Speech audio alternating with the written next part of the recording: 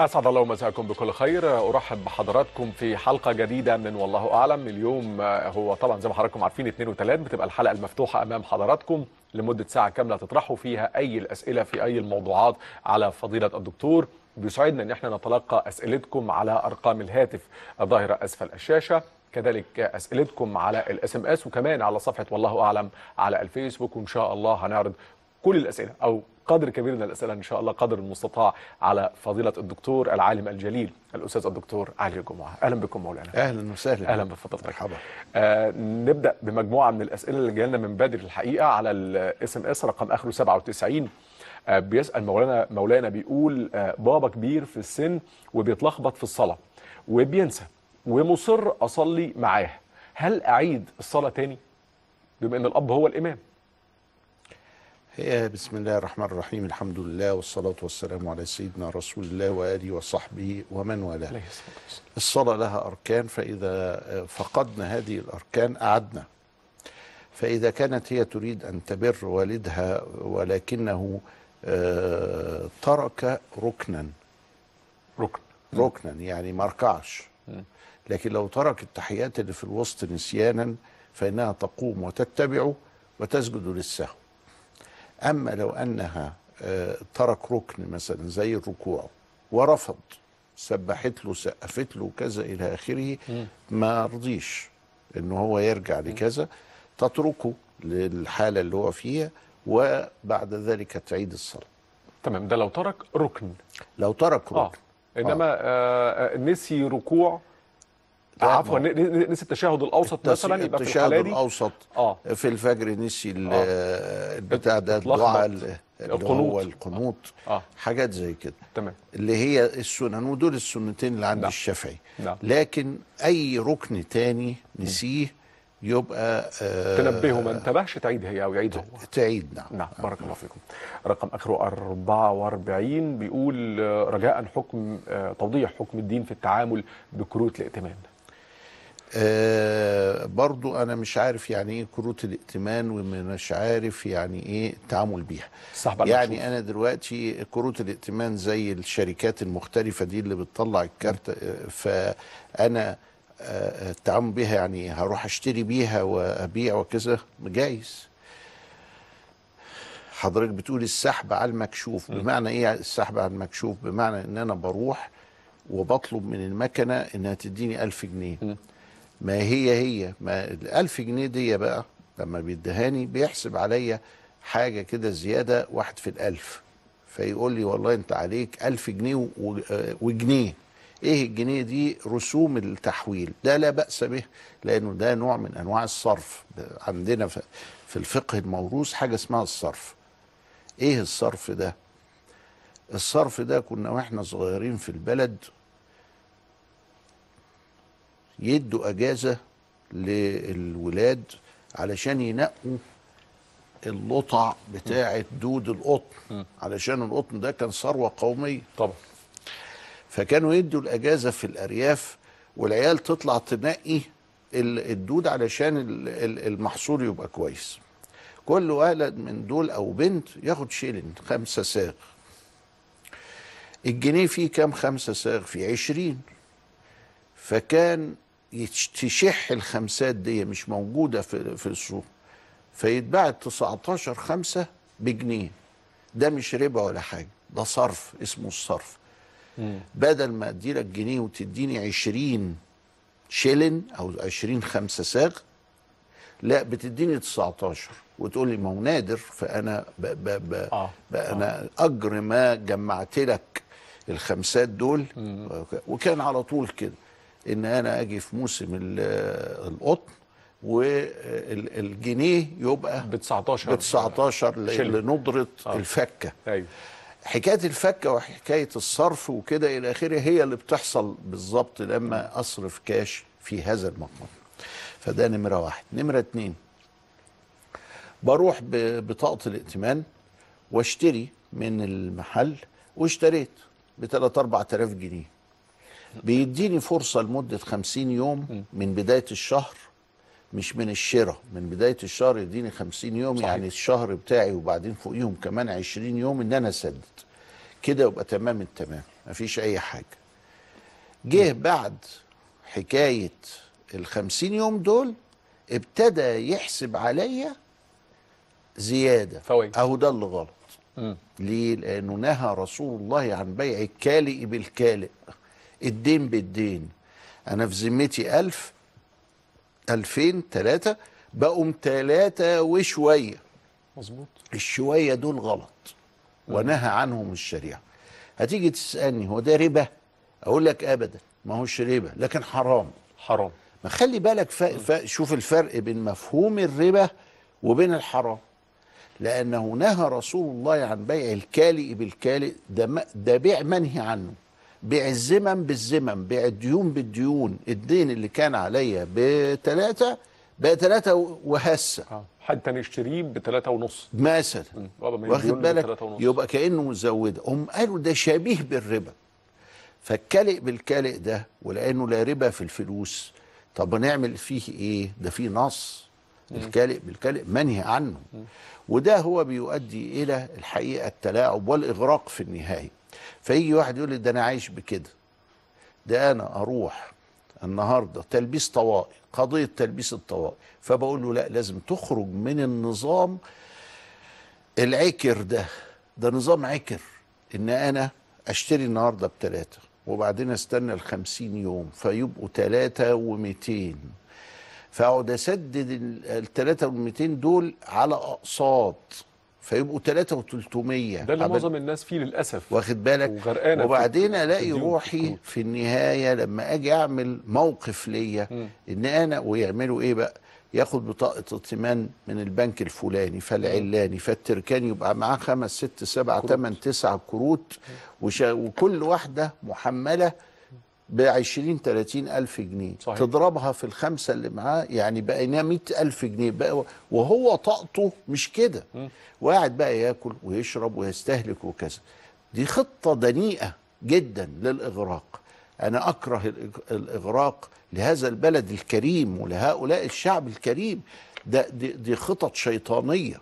واخد بال سيادتك إزاي. وهو ده اللي بيخلي العيال وهم بتتنطط وبتحرم البنوك الاستثمارية بيحرموا مش مفرقين ما بين. فكرة الإغراق التي فيها نوع من أنواع اولا السرف والسفه والاستهلاك وكذا إلى آخره وفكرة الاستثمار اللي في مقابل الادخار. يجب علينا إن إحنا المعاني تتضح صحيح. والادخار المستثمر ده ده مطالبينه ومن غيره تهلك البلاد والعباد. لكن الإغراق ده حرام وبكل ما يؤدي إليه فهو حرام. نعم. بارك الله فيكم مولانا. آه نروح لاتصالات حضراتكم. الأستاذ مصطفى اتفضل يا فندم.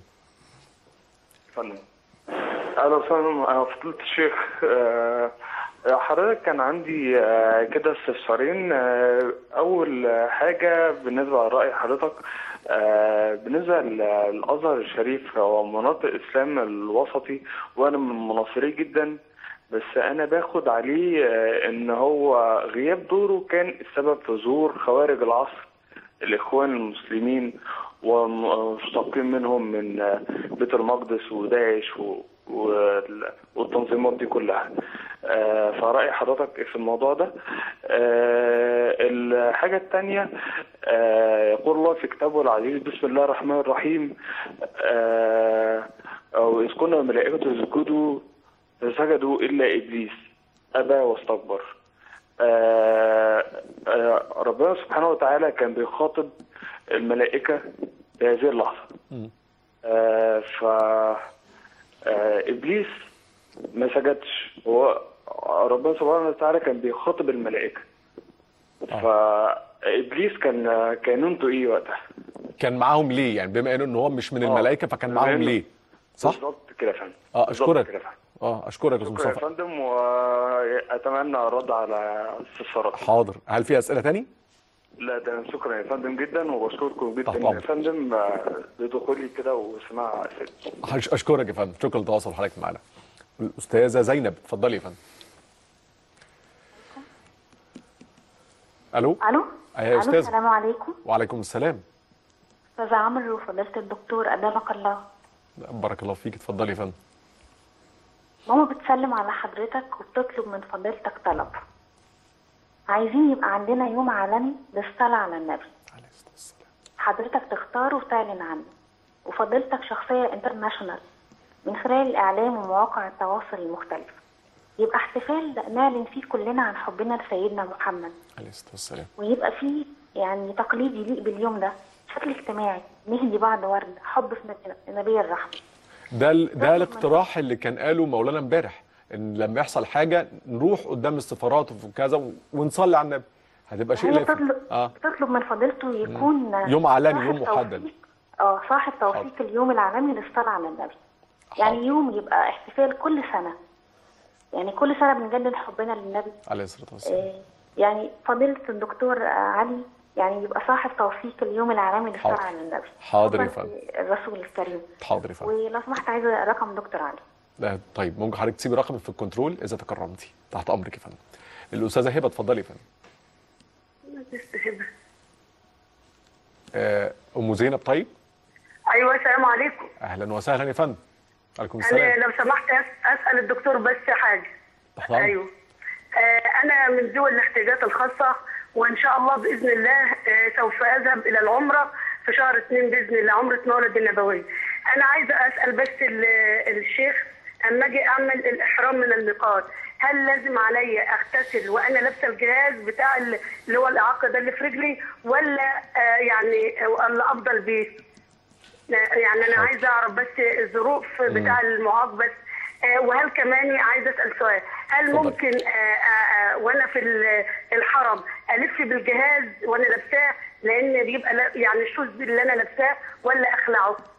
حاضر يا فندم حاضر. ربنا يبارك في حضرتك ست أم زينب وتقبل منك. شكرا جزيلا. طيب آه، استاذن مولانا واستاذن حضراتكم تكون الإجابات بس بعد الفاصل. خليكم معانا.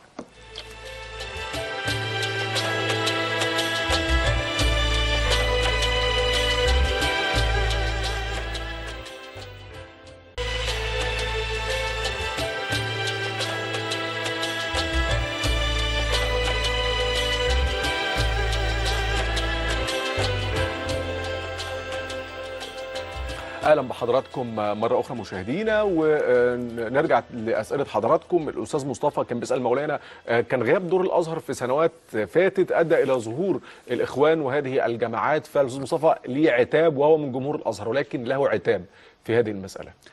آه، بنقول للأستاذ مصطفى الأزهر لم يغب دوره إطلاقا. الأزهر أدى فوق ما يمكن أن يؤديه آه، من في طاقته آه، أظن كده هنبقى هو 15 ألف بالنسبة لمليون ونص يبقى قد إيه؟ 15 ألف. بالنسبة إلى مليون ونص يبقى ألف مرة. فالأزهر أدى دوره آه، مئة مرة. مئة مرة مش ألف مرة مئة مرة. فالأزهر أدى دوره مئة مرة مئة مرة. يعني الواحد بيبذل جهد فالأزهر بذل مئة جهد. إزاي؟ 1950 كان عدد طلبة الأزهر 15000 وكان عدد المعاهد في على مستوى الجمهورية 17 معهد. ما يزيدوش أو حاجة زي كده. قبل كده لما نشأ الإخوان المسلمين سنة 28 كان الأزهر عدد المنتسبين إليه 7000 النهارده عدد الطلاب بتوع المعاهد مليون ونص. وعدد المعاهد عشر تلاف معهد. قول لي بقى بالله عليك هل فيه مؤسسة في الدولة عملت كده؟ إنه ناس يبقى عندهم 15 ألف طالب يبقوا مليون ونص. وناس الجامعة بتاعتها عندها عشر تلاف طالب قوم يبقى نص مليون في خلال ستين سنة. كان الأزهر بيلعب يعني يا أخ مصطفى الأزهر قام بدوره. نمرة اتنين الخوارج الأولانيين اللي كان منهم عمران بن حطان ولا كان منهم كان منهم أئمة في ولا آه، نافع آه، الأزرق ولا كذا إلى آخره. كانوا كانوا أئمة كبار الجماعة دول الخوارج دول كان منهم علماء. لما طلعوا دول طلعوا الصحابة موجودين دول طلعوا وباب مدينة العلم موجود سيدنا علي. دول حاربوا سيدنا علي عليه السلام. ده لما البخاري يجي يقول للسيدة فاطمة هم يقول إيه؟ فاطمة عليها السلام. لأنهم أهل البيت. نعم. لأنه لأنه ابن عم النبي لأنه النبي عليه السلام سد كل الأبواب إلا باب علي. الله قال له أنت مني بمنزلة هارون من موسى إلا أنه لا نبي بعد. قال قال كتير. أحمد بن حنبل لما ألف في علي لما ألف في فضائل الصحابة مجلدين كبار كده حاجة بتاع 800 صفحة. 500 منهم لعلي. والباقي لبقية الصحابة. رضي الله تعالى عنه. الراجل ده ما قصرش. ده الخوارج ده مشرب ملعون ومشرب آه، آه، آه، عنيف في التوجه الإنساني كله. وهو كان الدين قال لهم كده؟ ده النبي عليه السلام قال تحقرون صلاتكم إلى صلاتهم وصيامكم إلى صيامهم يمرقون من الدين مروق السهم من الرمية على فكرة الخوارج الأول خرجوا لا عن تقصير الصحابة الكرام أبدا. والخوارج المحدثون خرجوا لا عن تقصير الأزهر أبدا. الخوارج خرجوا لظروف سياسية واجتماعية وفكرية أخرى. لكن الأزهر اللي يغ- يبذل ده عارف إحنا كان عندنا إيه؟ أنا عندي 1950 كنا 15 16 مليون. أزهري. لا 15 آه. ده الب- ده البلد كلها. عفوا آه البلد كلها. يعني جمال عبد الناصر الله يرحمه لما جه يعد عدينا 17 مليون. 52 53 54 النهارده 2015 إحنا 90 مليون. ماشي؟ طب ال 90 قد إيه من ال 17 قد إيه من ال 17 اقسم 90 على قول 100 على 20 يبقى خمسة يبقى إحنا زدنا خمس أضعاف في ال 60 سنة اللي فاتت دي. ماشي. يبقى ال 15000 اللي كانوا معايا اضربهم في خمسة يبقى زيادة السكان تؤكد إنهم ينبغي أن يكونوا 75000 مش مليون ونص.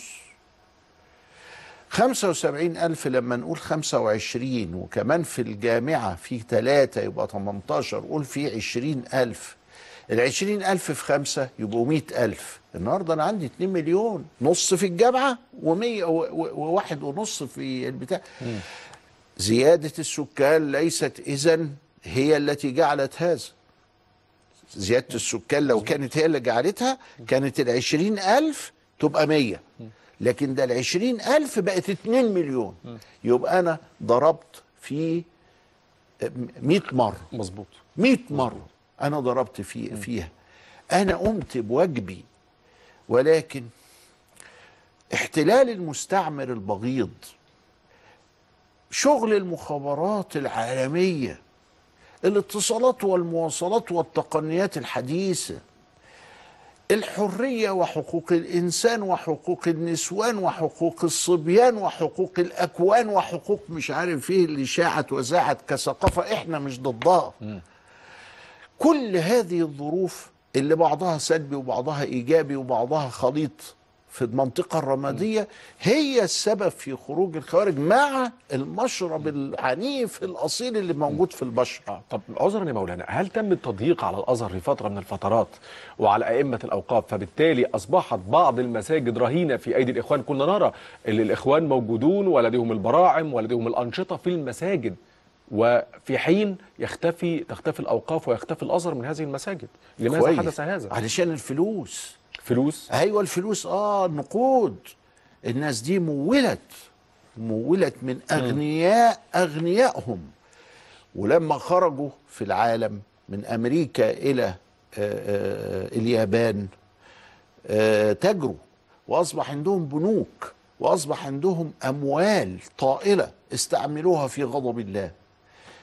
أيوه في مسجد أسس على غير التقوى من أول يوم. أيوه حصل. إنه هذا آه، آه، آه، إزاحة زي ما أزيح الأزهر الشريف في غرب أوروبا. إحنا مسكنا أوروبا من 1800 وإحنا في أوروبا وفي أمريكا بنينا ال- المراكز الإسلامية وكذا إلى آخره. جم بعض الناس علشان القرش عشان ال- ال- ال- المال وراحوا عاطينا كتف غير قانوني.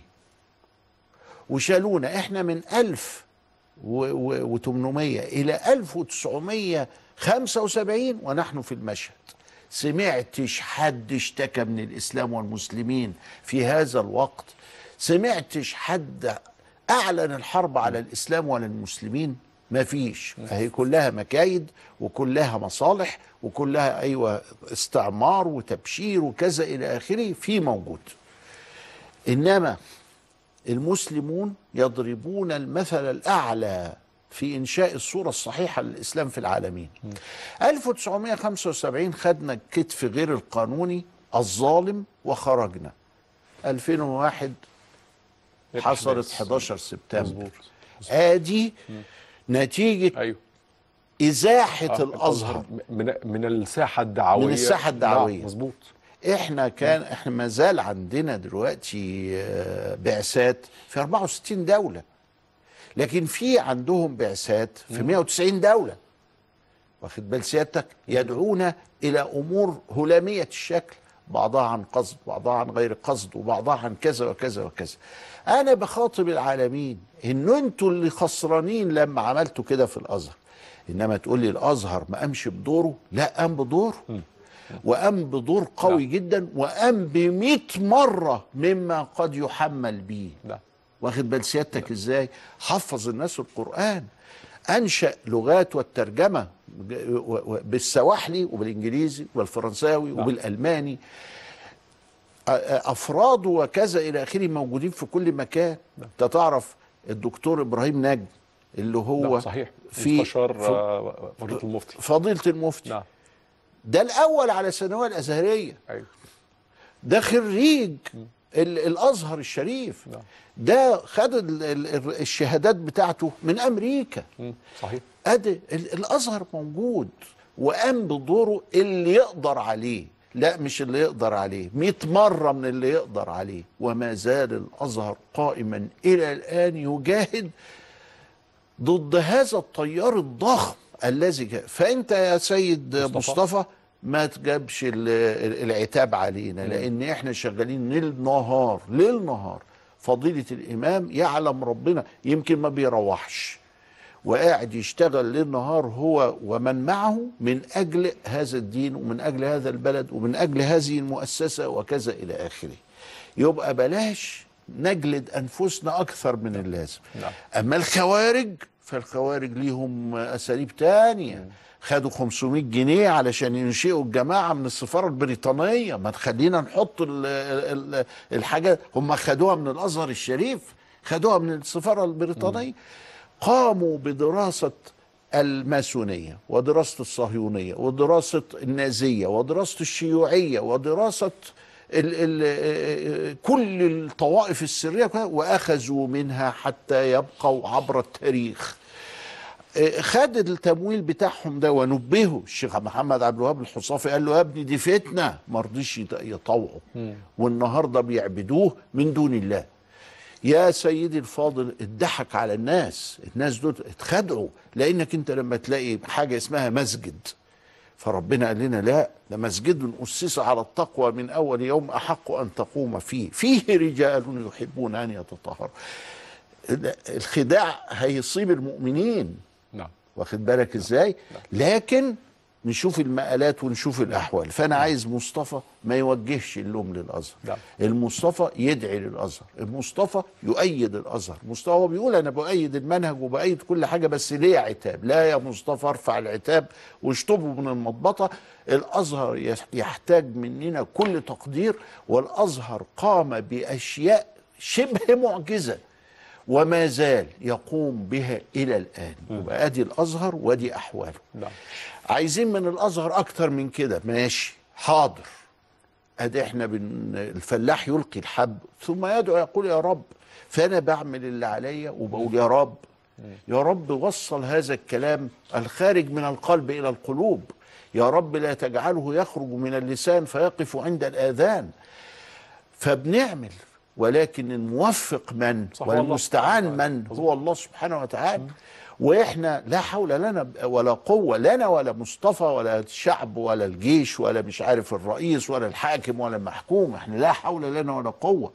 إنما الحول والقوة بيد الله. لا حول ولا قوة إلا بالله. كنز من كنوز العرش. يبقى إذا أنا بنعمل ولكن محتاجين أكتر. محتاجين نعم. أكتر في فجوات كتيرة عندنا ومشاكل. آه طبعا. في أزمات وفي كان ينبغي علينا إن إحنا نعمل كده. هو آه طبعا عندنا أشياء من هذا القبيل كتير. شغالين عليها؟ أيوه شغالين عليها. العبارة دي مهمة في الكتاب الفلاني. العبارة دي طبعا بعد ما ما يقراش اللي قبلها وما يقراش اللي بعدها وما يقراش. هي بيتقال للطالب إيه؟ ويقول لك دول عايزين يسلقوا البني آدمين ويشوا البني آدمين ومش عارف إيه. كذب كله ده كذب لكن بالرغم من كده بنطور. وبنطور اللي طورناه. ثم نطور اللي طورنا اللي طورناه طبقا لمقتضيات العصر. وهذه حلاوة الإسلام. أنه يصلح لكل زمان ومكان حقا وصدقا وليس توهما. وبعدين بيقول إبليس إيه الحكاية بتاعته؟ ربنا قال الا إبليس كان من الجن ففسق عن أمر ربه يبقى هو ما كان من الجن. لكن حضوره مع الملائكة لأنه كان طاووس الملائكة في العبادة. وده بيحدث.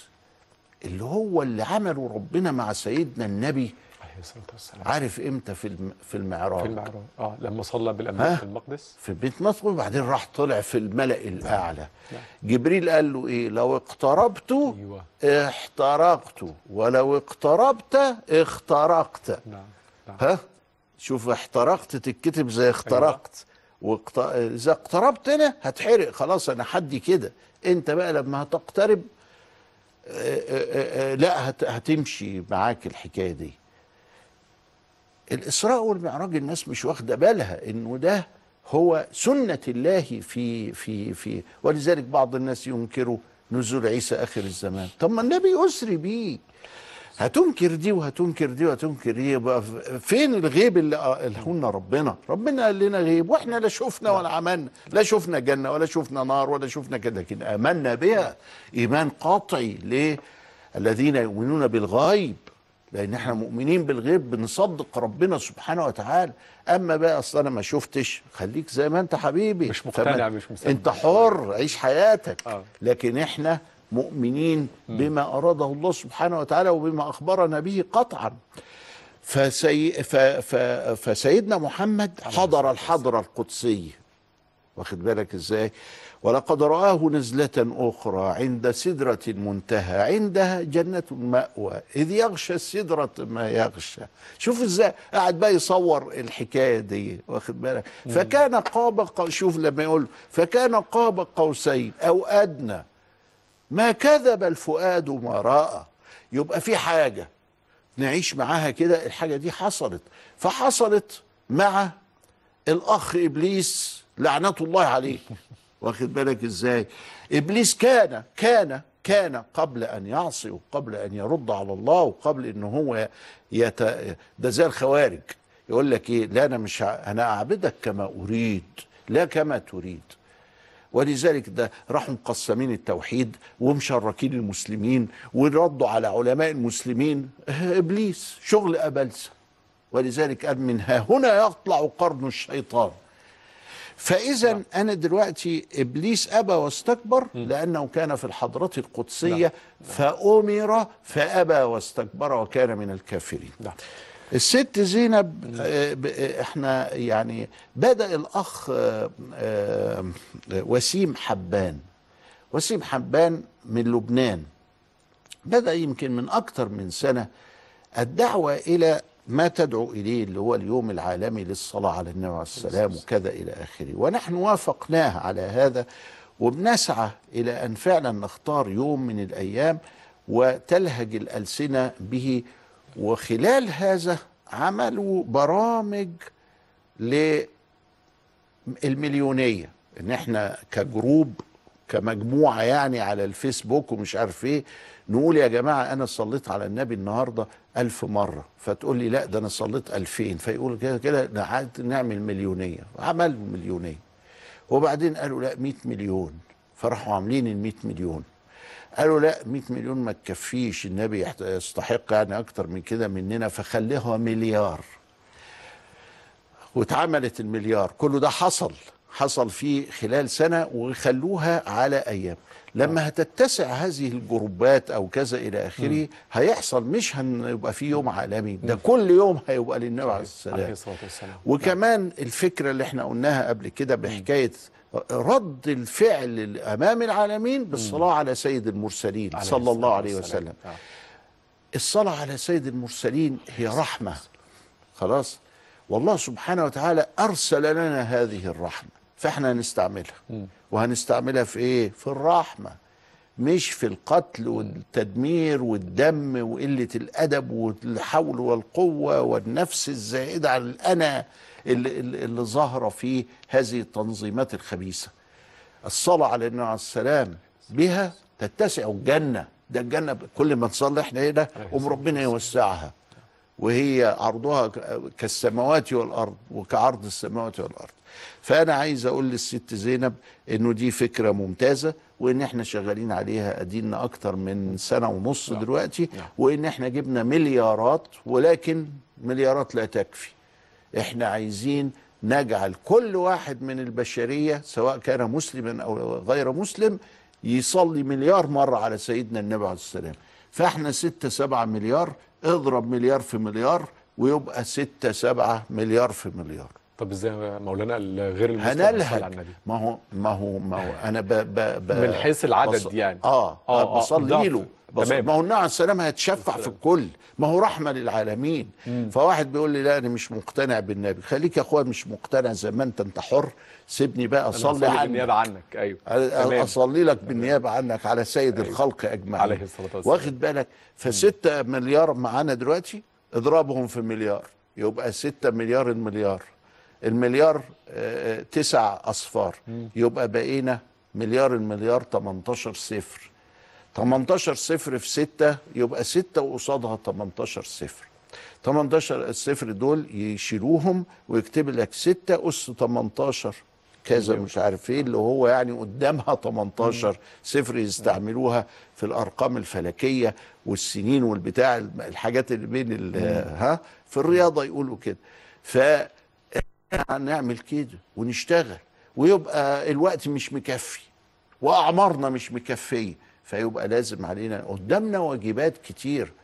لما نيجي بقى الجماعه المت... الإرهابية يقول لك شوف شوف سبتوا الحكم وشغالين لي شغل التصوف. أيوه لأن الحكم ده بيد الله وهيجيبهن. وعطاهن هو الحكم بيد الله ونعطيله للمتخصصين خد يا أخويا ده احكم وانت اعمل الاقتصاد وانت اعمل الاجتماع. وانت صلي يا أخويا على النبي. ما يجراش حاجة لما كل واحد يقوم بوظيفته. أدي اللي حاصل. إنهم بينتقدوا حتى أصل الدين. أصل الديانة هم مش راضيين بيها. هم عايزين ديانة على كيفهم وكده. فكلام الست زينب الحقيقة إنه كلام بيرجعنا مرة تانية إلى احوال ام أم زينب آه، لا آه، أنت الاغتسال الأحرام ده سنة فممكن ما تغتسليش عايزة تغتسلي والبتاع عندك آه، الجهاز الجهاز خليكي. بالجهاز تمام. عايزة تطوفي بالجهاز طوفي بالجهاز نعم. فكل ده جائز والدين يسر لا عسر نعم. وربنا سبحانه وتعالى فإن مع العسر يسرا إن مع العسر يسرا. نعم بارك الله فيكم مولانا. الاستاذه منى اتفضلي يا فندم. السلام عليكم. وعليكم السلام. ازيك يا أستاذ عمرو أهلا بحضرتك يا فندم. تحياتي للدكتور علي. أهلا وسهلا. أهلا بحضرتك يا فندم.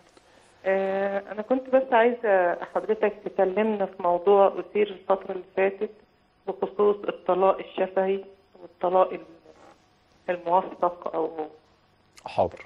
ويعني ويا ريت يعني حضرتك تحط حد للوضع اللي حصل في البرامج إحدى البرامج برامج التوك شو اللي اثارت هذا الموضوع لدرجة إن الخلاف بين الأئمة والأساتذة آه، من علماء الأزهر جعل يعني من ليس له أي دراسة يتدخل في هذا الموضوع ويقول إن الموضوع واحد يستفتي نفسه ودي ده مم. و- وبعيد بقى عن الدين وبعيد عن ال- بعيد عن القواعد الشرعية يعني. وبعيد عن الشرع. صح.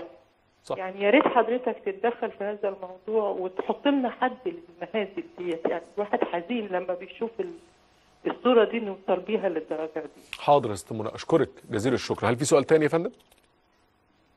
طيب الأستاذ طه. اتفضل يا فندم. السلام عليكم. عليكم السلام.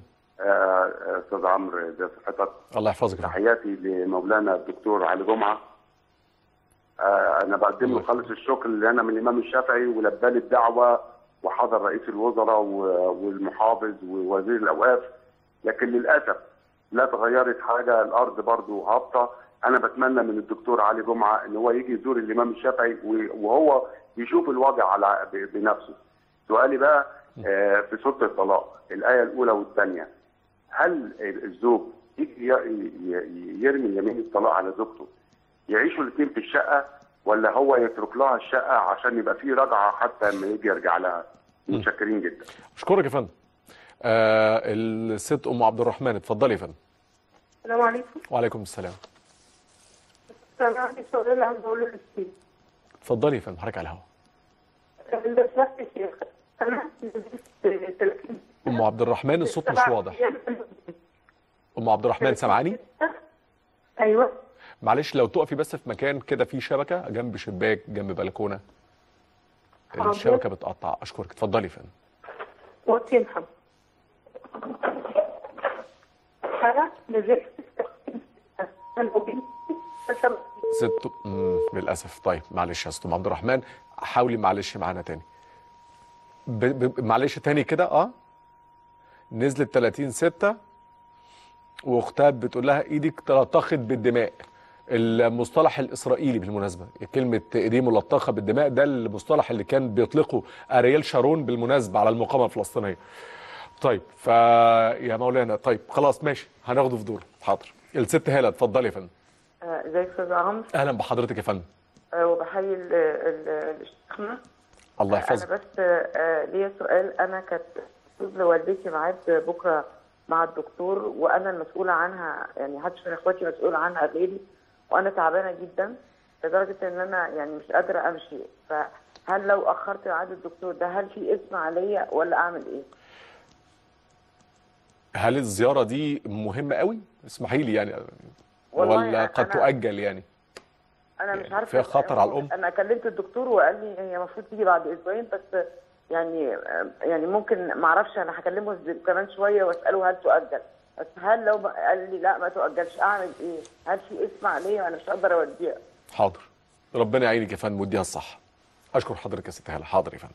أستأذن مولانا وأستأذن حضراتكم تكون الإجابات بعد الفاصل. خليكم معانا.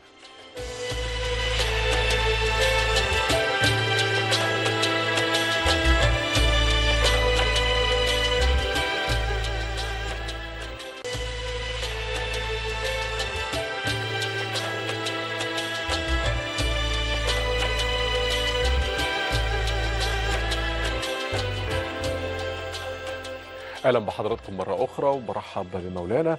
آه، سؤال الست منى المتعلق بالطلاق الشافعي. مولانا ما هو آه، القول الفصل في هذا الأمر؟ ال- الطلاق الشفوي آه، له قواعده وله مقرراته من سنة 1925 إحنا تكلمنا في هذا. يعني إحنا النهاردة 15 يعني من 90 سنة. وإحنا تكلمنا في هذا الموضوع.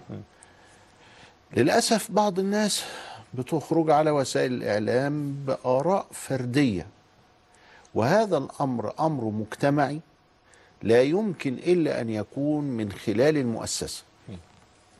علماء الأزهر يجلسون سويا في هيئة كبار العلماء في مجمع البحوث في لجنة الفقه في دار الإفتاء في الجامعة الأزهرية في كليات الشريعة و و و والقانون.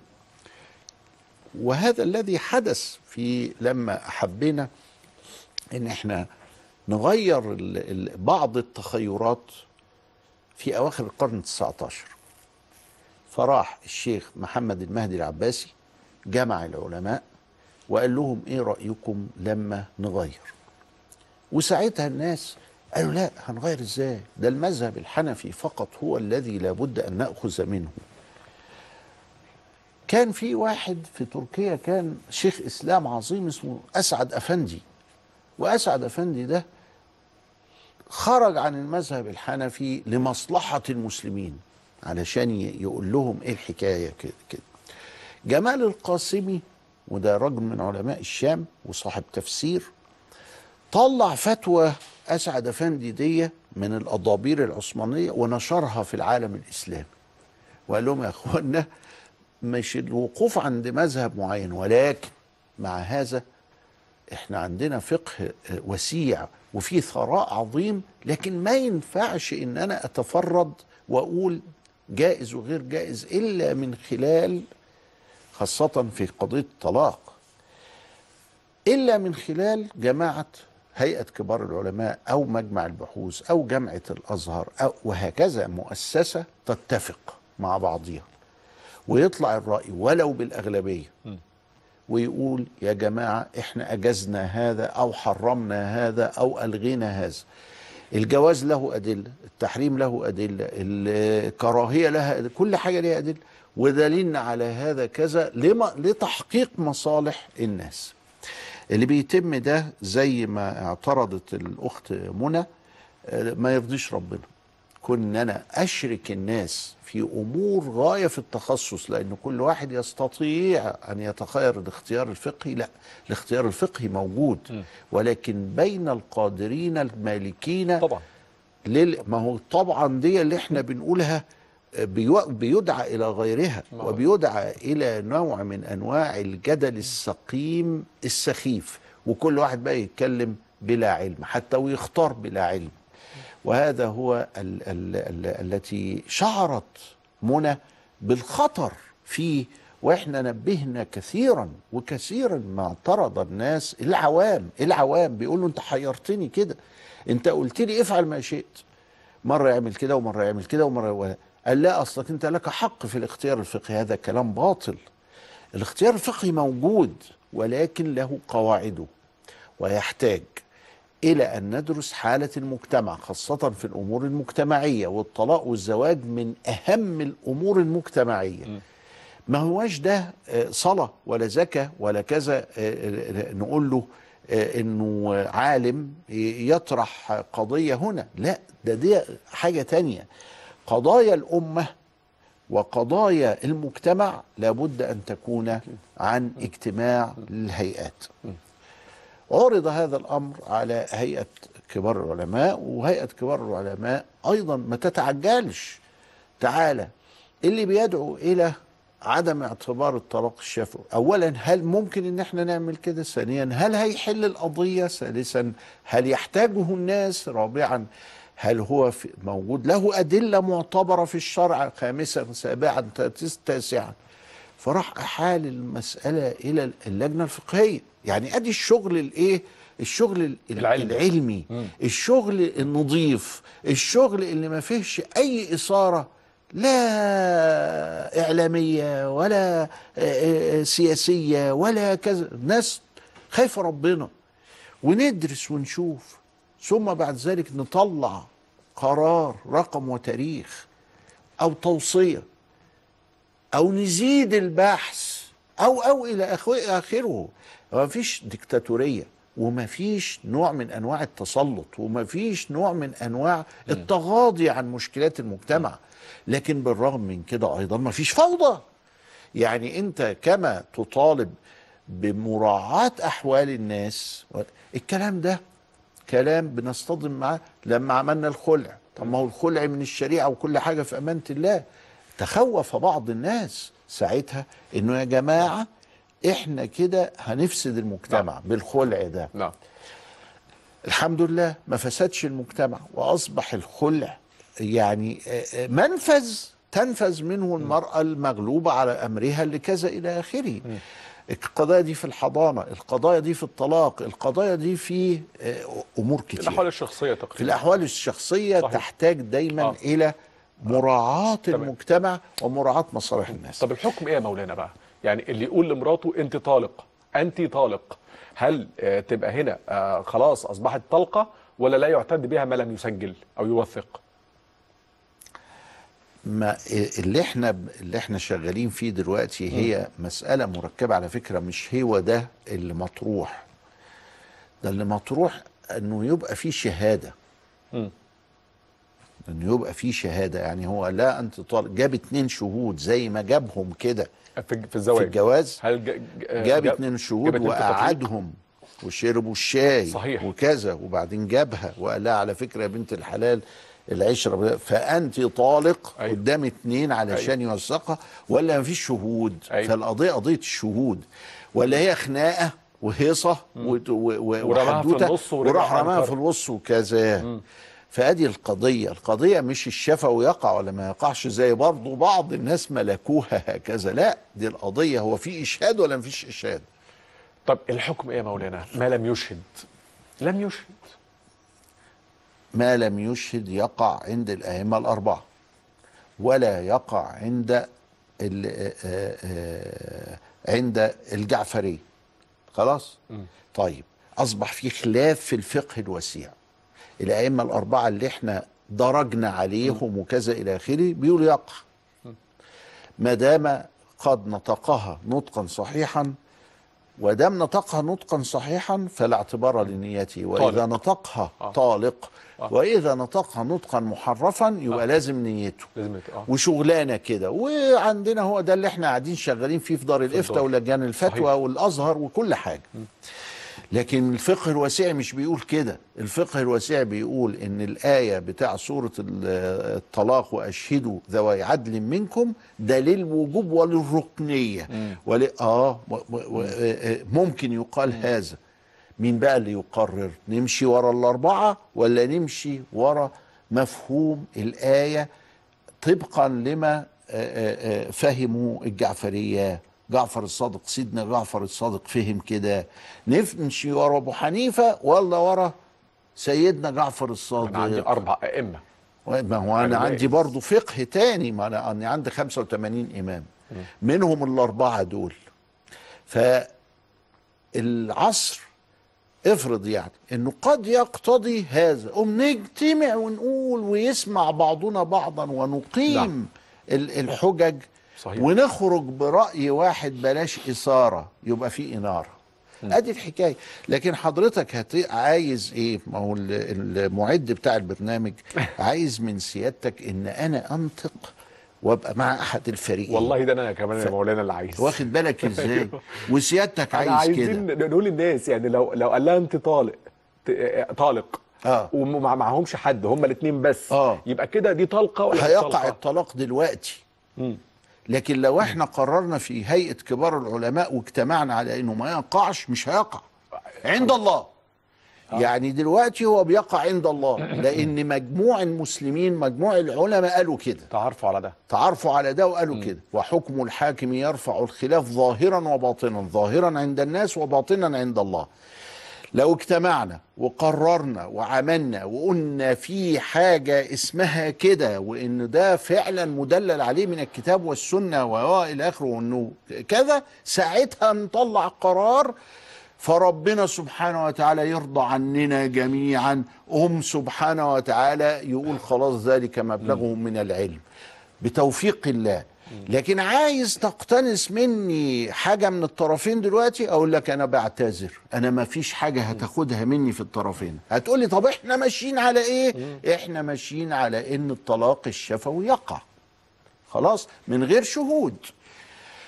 فاذا في فرق بين الواقع ال- الآن. وبين ما يأمل بعض الناس أن يكون.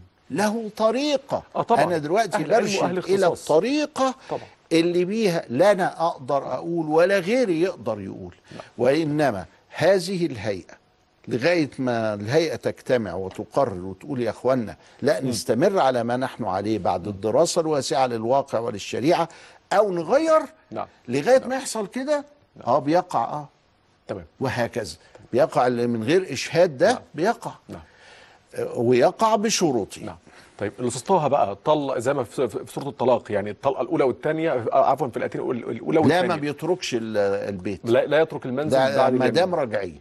ما دام. رجعية. ما نعم. ما بتركش البيت. وأنا امبارح على فكرة كان في فتوى بتقول لي إن في واحد اتجوز بنت عمه ولا حاجة آه، زي كده آه. وبعدين طلقها قبل الدخول. قبل الدخول. أنا ما خدتش بالي من قبل الدخول دي هي. آه. فقلت لك يبقى تعتد وكذا إلى آخره عشان يتجوز أختها. لا. أدام قبل الدخول ملهاش عدة. آه مظبوط. يعني يطلقها وهو قاعد دلوقتي ويتجوز أختها دلوقتي. يجوز شرعا كده.